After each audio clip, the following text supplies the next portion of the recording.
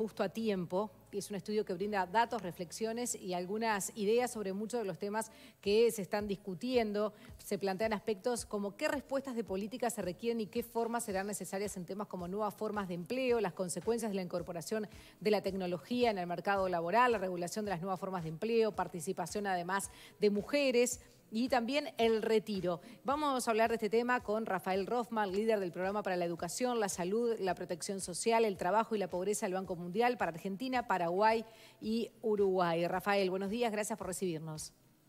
Hola, ¿qué tal? Buenos días, muchas gracias por la invitación, es un gusto estar con ustedes. Bien, igualmente. Eh, Rafael, ¿estás en Argentina? Estoy en Buenos Aires, acá encerrado en mi casa, efectivamente. Bien, con el encerrado nos decís todo, porque te iba a preguntar justamente cómo se están viviendo estos momentos de una cuarentena tan larga. Eh, a ver, es como todo lo que está pasando en estos tiempos para todos nosotros, ¿no? Es incómodo, molesto, son las cosas que hay que hacer dadas las circunstancias y uno lo va sobrellevando lo mejor posible. Eh, obviamente eh, en mi caso, este, lo llevo mucho mejor que otra gente porque tengo un trabajo, tengo una buena casa, tengo y alguna gente está mucho más preocupada y más angustiada por, motivos muy reales y entonces es preocupante. ¿Y cuál es la perspectiva justamente que se ve de lo laboral y lo económico en Argentina? A ver, eh, ha habido una caída del producto importante, una caída de la actividad importante vinculado a la pandemia, vinculado a la, cuarentena, al aislamiento que, el gobierno impuso tratando de, contener la enfermedad. Eh, lo que no sabemos y es muy difícil de valorar en este momento es si esto va a tener efecto duradero, si en algún momento que la situación sanitaria mejore, la recuperación va a ser más rápida, cosa que todos decíamos y esperamos. Pero honestamente es muy, digo, uno puede hacer muchos escenarios, pero es muy difícil sacar conclusiones o evaluar algo muy concreto eh, con la información que tenemos hoy. Al día de hoy, hay una baja fuerte y hay partes de la sociedad que están efectivamente complicados y hay un esfuerzo muy grande desde el Estado por eh, protegerlos y ayudarlos. Pero es una situación provisoria y no sabemos muy bien qué va a pasar en el mediano plazo, ¿no? Claro. Eh, Rafael, hablemos de este estudio, de este trabajo justo a tiempo, cómo, cómo se inició y qué datos tiene. Sí, con muchísimo gusto. A ver, esto es parte de un trabajo que nosotros venimos haciendo hace varios años eh, con, colegas eh, del banco y con colegas en Uruguay, que tiene que ver con pensar algunas de las grandes megatendencias que hay en Uruguay. En Uruguay están pasando dos cosas que pasan también en, en muchos países del mundo, pero en Uruguay se aceleran un poquito más, que son los cambios demográficos y los cambios de la tecnología, el cambio tecnológico, la incorporación de nuevas tecnologías.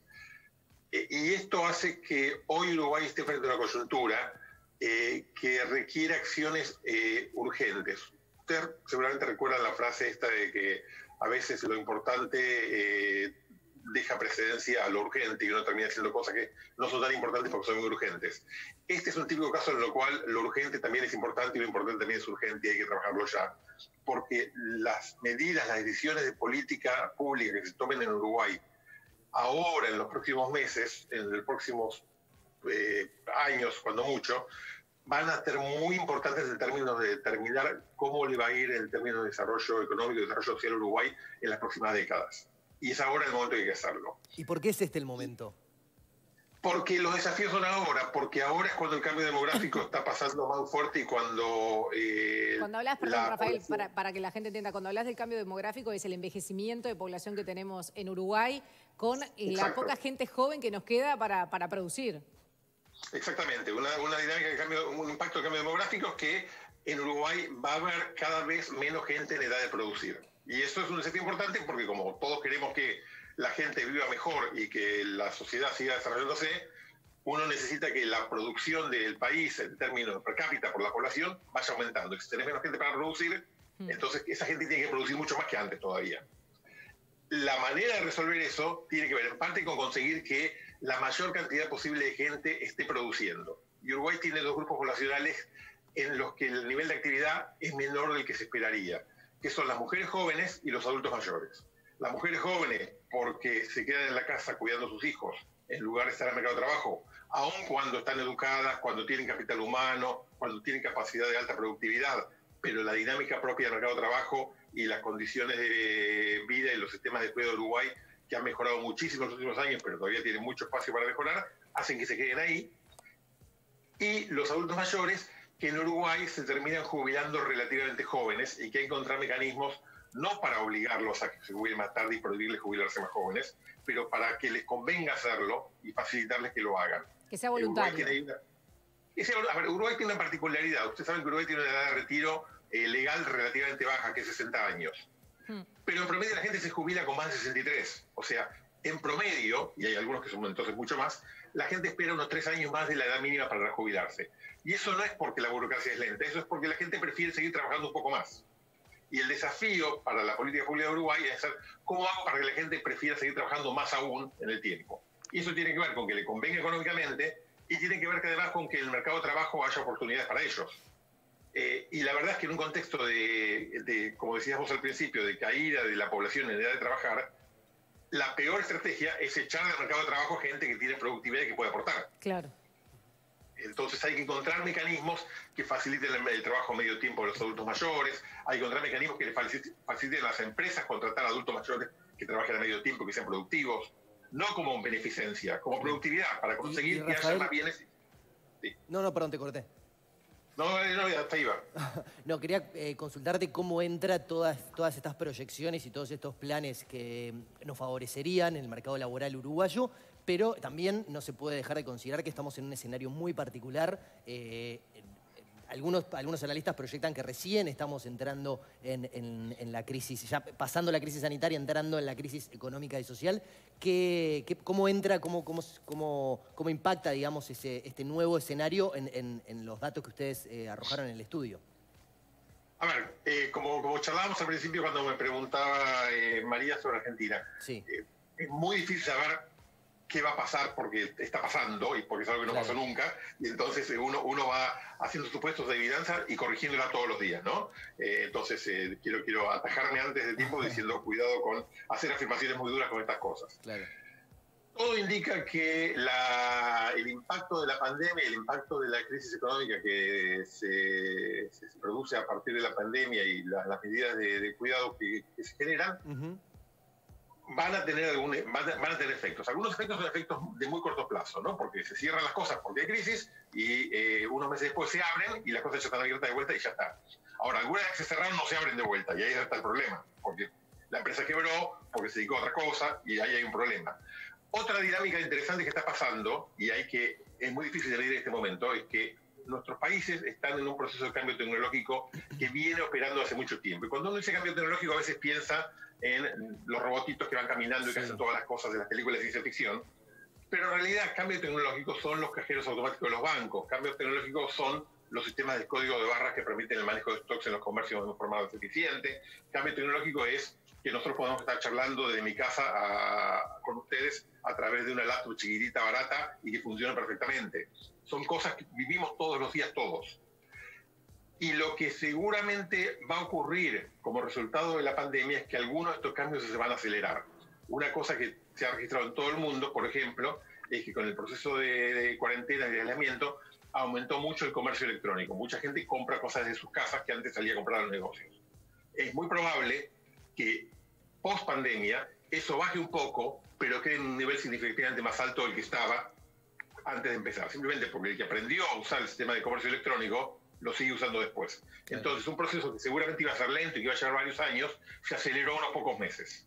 Entonces, creo que algunos cambios tienen que ver con eso. Pero déjame retomar este tema porque me parece eh, valioso en, vincularlo con la discusión previa. Decíamos un rato que un problema de Uruguay es que la población envejece y entonces tiene que producir más, porque hay menos gente activa para producir. La buena parte de esa historia es que con el cambio tecnológico la gente se pone más productiva, porque con máquinas más, y más capacidades, con nuevos métodos de producción, la misma persona puede producir más cosas. Entonces, que haya menos gente, pero más productiva, en principio el cambio tecnológico y el cambio demográfico juegan juntos y nos ayudan a resolver este problema. Pero para que eso ocurra, hay dos o tres condiciones importantes que tienen que ocurrir. Una es que la gente tenga las habilidades, tenga las capacidades de trabajar con las nuevas tecnologías, y eso quiere decir pensar qué está pasando con el sistema de educación y pensando qué está pasando con el sistema de capacitación y entrenamiento de adultos. Y lo otro es que el mercado de trabajo y la normativa del mercado de trabajo reconozca que algunas cosas van cambiando y se adapte para no obstaculizarlas, sino para aprovecharlas. Y ahí son dos desafíos importantes en los cuales se están haciendo cosas, pero ahí viene la lógica del título del documento es justo a tiempo, hay que acelerarlo y hay que hacerlo ahora. ¿Cómo, buen día, Rosman, cómo juega la, los fenómenos migratorios en, este, en este esquema? Porque eh, muchos países han suplido la, falta de gente o, no la falta total, pero el, tener poca gente de edad productiva con corrientes migratorias. ¿Uruguay puede aprovecharlo también? A ver, los fenómenos migratorios pueden tener un rol. Eh, por definición no puede tener un rol a escala planetaria porque el mundo es un sistema cerrado. Eh, pero como en el mundo al día de hoy todavía hay países donde los niveles de crecimiento de población son altos y países donde tienen estos problemas de crecimiento, hay desplazamientos en, esa dirección. Y eso es algo que va a ir bajando en el tiempo porque el proceso de envejecimiento está ocurriendo en todo el mundo. Como hay países que ocurrió antes, eh, había, había mecanismos de migración que lo, lo, suplían, pero eso es algo que seguramente va a ir disminuyendo en el tiempo. Más allá de eso, efectivamente, si hay migraciones muy grandes y muy masivas como las que recibimos los países de, Sudamérica, especialmente el Cono Sur, hace 100 años, como los que ha recibido Estados Unidos en los últimos 50 o como los que está recibiendo Europa en los últimos 30, 40 años, parte del fenómeno se suaviza y se enlentece.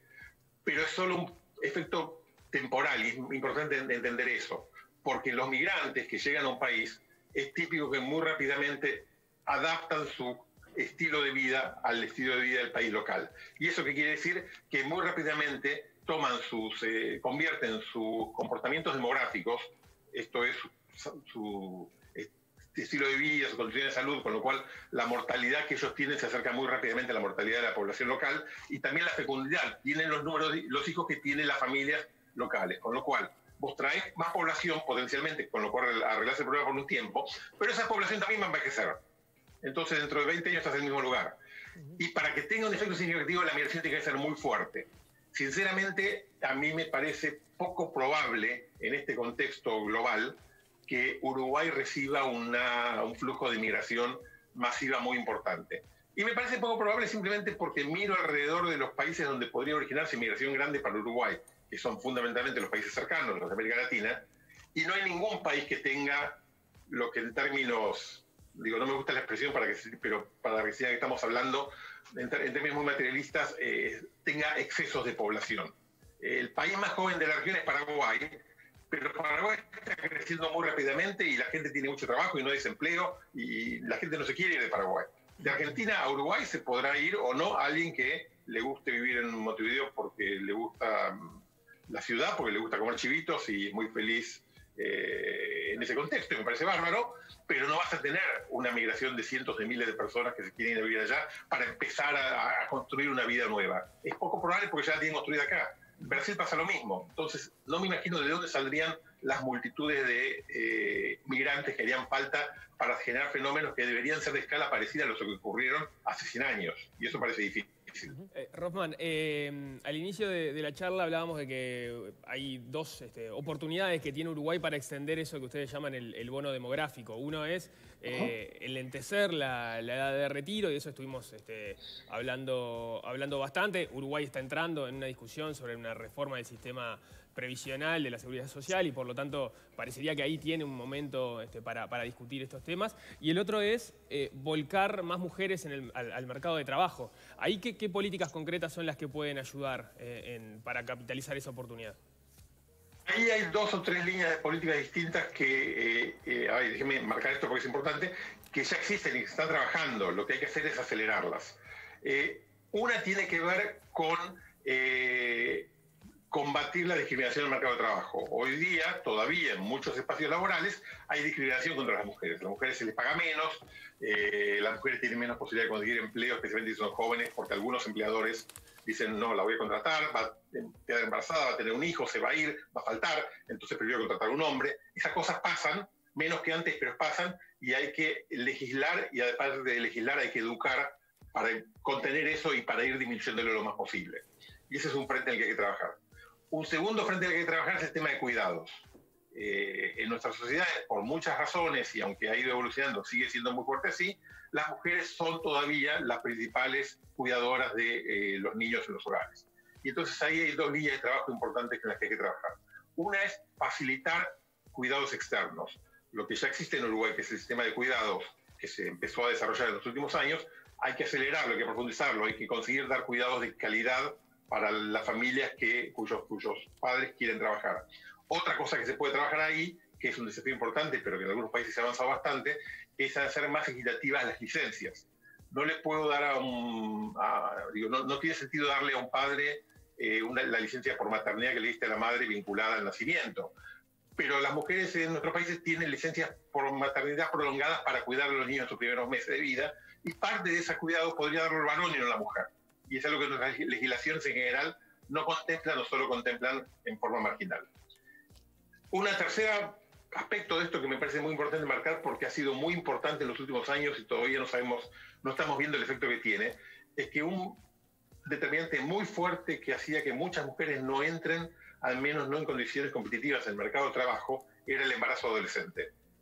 Como muchas chicas, muchas adolescentes quedaban, no, no, intencionalmente, pero involuntariamente embarazadas durante la adolescencia, eso les interrumpía su educación y eso les interrumpía su capacidad de entrar en forma eh, exitosa en el mercado de trabajo. Algunas la logran porque tienen suerte, porque son, eh, tienen mucha, mucha energía para lograrlo, porque luchan para lograrlo, y me parece admirable y muy bueno, pero en promedio eh, les, les, cuesta más y entonces en promedio es menos el número de mujeres que lo logran.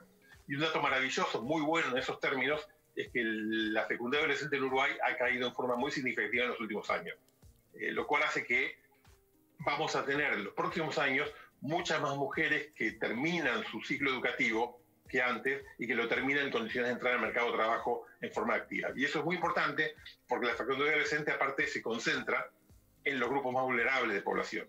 Y entonces son ellos las mujeres que necesitamos que entren al mercado de trabajo porque si ellas tienen un buen trabajo y una buena vida, sus hijos también la van a tener y rompemos los círculos viciosos de pobreza, que es un problema histórico de toda la región. Rafael Rothman, muchísimas gracias.